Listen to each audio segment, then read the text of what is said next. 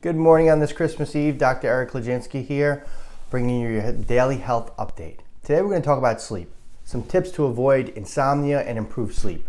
Difficulty falling asleep or staying asleep can be detrimental to your health. Below are some recommendations to help overcome temporary sleep insomnia or problems as well, and also improve the quality of your sleep.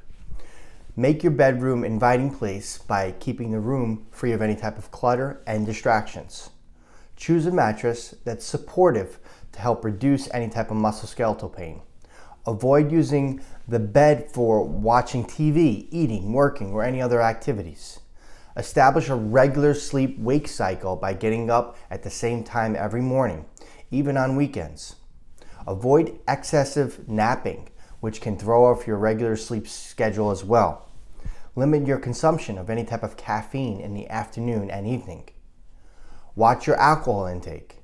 Fit in some exercise every day, but don't exercise strenuously right before bedtime.